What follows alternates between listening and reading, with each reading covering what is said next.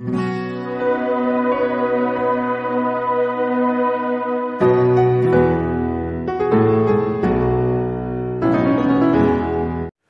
आदाब, सत श्रीकाल आप सभी का फिर से स्वागत आपके ही चैनल राइट इन्फॉर्मेशन में। तो आज आपको बताया जाएगा कि अडानी गैस, यानी कि अडानी गैस का सीएनजी पंप आप किस तरह से ले सकते हैं, इसमें आप अभी जो है अभी अप्लाई कर सकते हैं।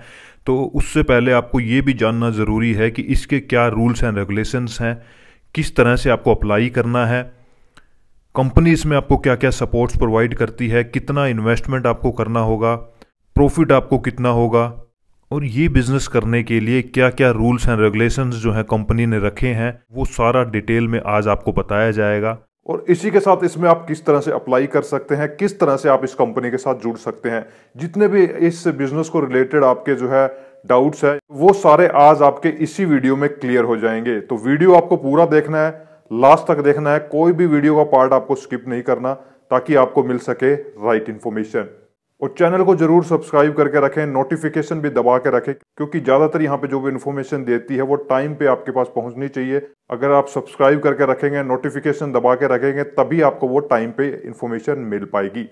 तो देखिए, अडानी ग्रुप के बारे में आप जान लीजिए, काफ़ी बड़ी कंपनी है, काफ़ी ग्रुप ऑफ़ कंपनीज़ में ये काम करती है। अकेला सीएनजी में नहीं है, और भी जो है आपने काफ़ी अडानी के जो है बिज़नेस देखे होंगे। तो अडानी जो है, गैस सेगमेंट्स में भी एक अच्छा नाम है। अगर सीएनजी इंडस्ट्री में देखेंगे तो तो काफ़ी सारे इसने जो है, अपने CNG station all over India में लगा रखे हैं, और अब जो है, और भी एक्सटेंड कर रहे हैं। तो देखिए, आप इस बिज़नेस की ओर जा सकते हैं, और अपना ये बिज़नेस स्टार्ट कर सकते हैं। तो सबसे पहले आता है कि इस बिज़नेस को करने के लिए कंपनी ने क्या क्या क्राइटेरिया रखा है। ये सबसे पहले आप जो है इंडियन सिटीजन होनी चाहिए।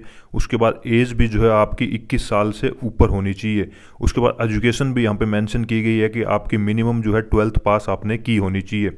इसी के साथ जो है सोशल कंडक्ट यानी कि आपका कोई भी क्रिमिनल रिकॉर्ड वगैरह नहीं होना चाहिए। फाइनेंशियल स्ट्रेंथ आपकी होनी चाहिए। जितना भी इन्वेस्टमेंट आपको बताया जाएगा, उतना आपके पास होना चाहिए। और इसी के साथ एक्सपीरियंस अगर आपके पास है तो भी आपको जो है यहाँ पे प्लस पॉइंट्स मिलते हैं। और ये बिज़नेस जो है आप पार्टनरशिप में भी कर सकते हैं।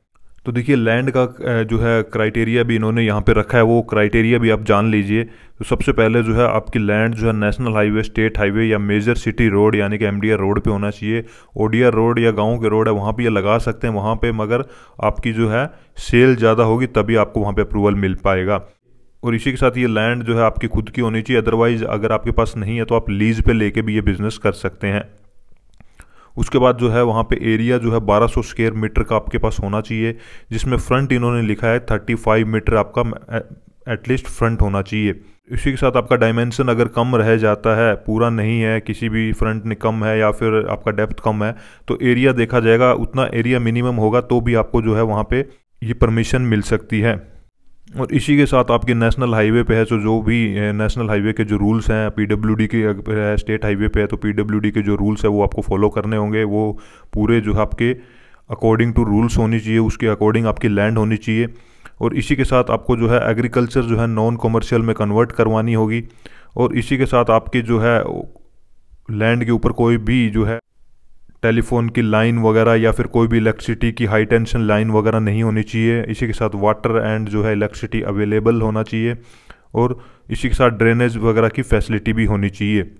और एन वगैरह में जितना भी एक्सपेंस आएगा वो आपको करना होगा। और इसी के साथ कंपनी को भी जो है आपको ये जो लैंड जिस पे भी आप लगाएँगे, पंद्रह साल के लिए मिनिमम आपको लीज करनी होगी।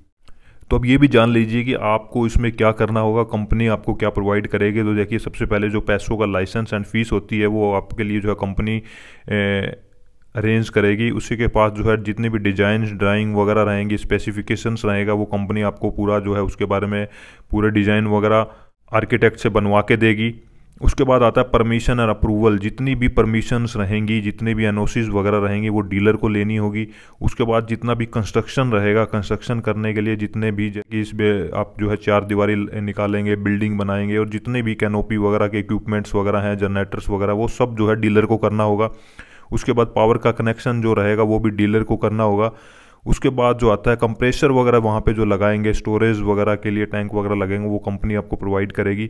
डिस्पेंसर भी जो है कंपनी प्रोवाइड करेगी। उसके बाद जो है अदर इक्विपमेंट्स वगैरह जो है, वो कंपनी जो है डीलर को ही अरेंज करने होंगे। इलेक्ट्रिसिटी चार्जेस डीलर को करना होगा। जो कंप्रेसर का जितना भी एक्सपेंस आएगा, वो कंपनी करेगी। उसके बाद जो है वेट एंड मेज़रमेंट स्टम्पिंग जो डिस्पेंसर के लिए होती है, वो कंपनी करवाएगी। ट्रेनिंग जो है आपको सारी इसके लिए कंपनी प्रोवाइड करेगी।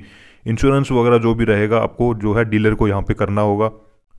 तो अब लोकेशंस देख लेते हैं कि कौन कौन सी लोकेशंस पे जो है अभी आप अप्लाई कर सकते हैं। तो देखिए, सबसे पहले आती है अहमदाबाद। अहमदाबाद जो है गुजरात की है।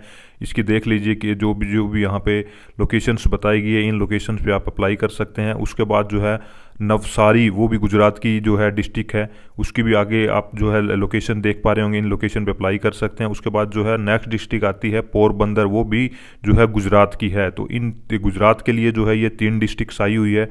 उसके बाद आता है चित्तौड़गढ़ एंड उदयपुर। ये जो है राजस्थान के डिस्ट्रिक्ट है। इसके लिए आप देख पा रहे होंगे कि इतनी सारी लोकेशंस आई हैं। ये सारी लोकेशन आप चेक कर लीजिए। उसके बाद जो है भीलवाड़ा। भीलवाड़ा भी जो है राजस्थान से ही बिलोंग करती है तो उसके लिए भी आपको इसके सामने भीलवाड़ा के जो भी लोकेशन नज़र आ रही है, उन लोकेशंस पे जो है आप अभी अप्लाई कर सकते हैं। नेक्स्ट जो है आपकी फरीदाबाद। फरीदाबाद जो है हरियाणा से बिलोंग करती है। अगर आप डिस्ट्रिक्ट से बिलोंग करते हैं तो अप्लाई कर सकते हैं। लोकेशन आप देख लीजिए कहाँ कहाँ के लिए जो ये ओपनिंग्स आई हुई है, ये जो आपको स्क्रीन पर नज़र आ रही है। उसके बाद आती है पलवल एंड नू से अगर आप बिलोंग करते हैं, ये भी हरियाणा की लोकेशन है। तो इसके आगे देख लीजिए जितनी भी लोकेशन है, उनके लिए आप अभी अप्लाई कर सकते हैं।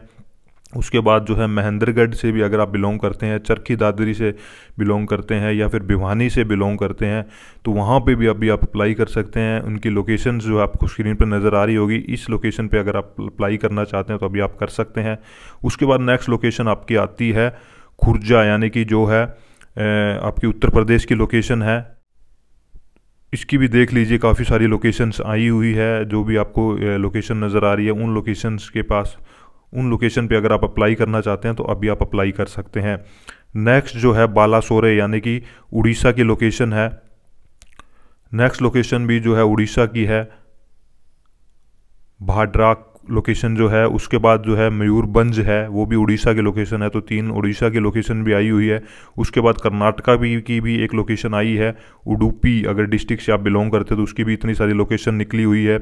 उसके बाद तमिलनाडु की भी जो है तिरुपुर लोकेशन आई है, उसकी भी काफ़ी सारी जो है आप देख पा रहे होंगे स्क्रीन पे।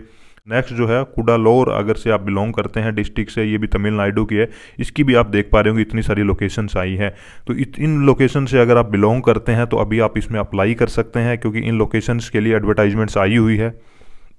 देखिए इन्वेस्टमेंट की बात कर लेते हैं। अलग अलग जो आपको मैं यहाँ पे नहीं बता पाऊँगा, फिर भी मैं आपको बता दूँ कि अगर आप जो है अडानी गैस के साथ बिज़नेस करना चाहते हैं, ये जो है सीएनजी पंप लेना चाहते हैं तो मिनिमम जो है आपके पास एक करोड़ से डेढ़ करोड़ का इन्वेस्टमेंट यहाँ पे जाता है। ये वेरी करता है लोकेशन टू लोकेशन मगर मिनिमम जो है इतना इन्वेस्टमेंट अगर आपके पास है, तभी आप इस बिज़नेस में आइए, क्योंकि मिनिमम इतना इन्वेस्टमेंट आपका इस बिज़नेस में जाएगा। तो देखिए, ये जो भी लोकेशंस आपको मैंने बताई, उन पे आप अप्लाई कर सकते हैं।